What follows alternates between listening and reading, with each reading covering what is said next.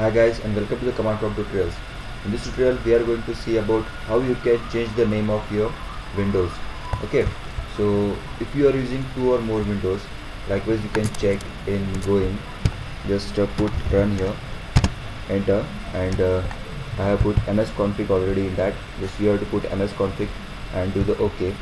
After that, go in the boot sequence. In that, I have I am using two windows, so it will show that Windows 10 as my default OS and Windows 7 the ultimate as my current OS okay so if you want to change the name of the windows by using the command bcd edit then you can do that. Okay so what you have to do that is first make it cancel. After that go in your command prompt. You know how to go into the command prompt. Just go in your start menu and type cmd and do the enter. And uh, we are in the command prompt.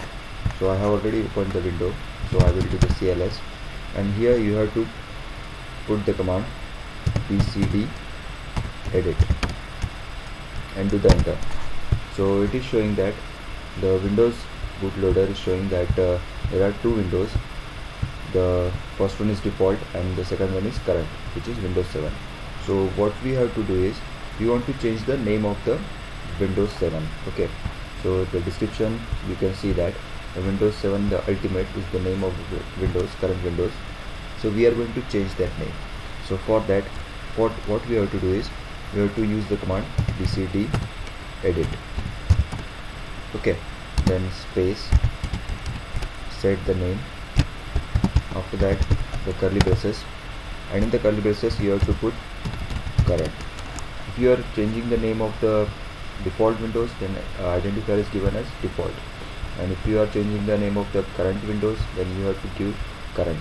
Uh, you have to just put the identifier in the curly braces. After that you have to give the description. Okay.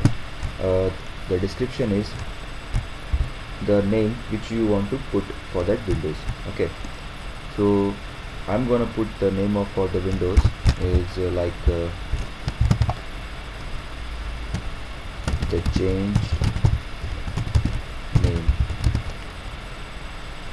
Is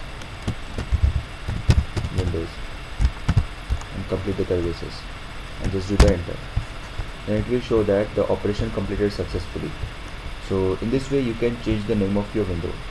So to check that go into the start menu again enter run and msconfig with the ok and go into the boot and you can see that we have changed the name of the current windows.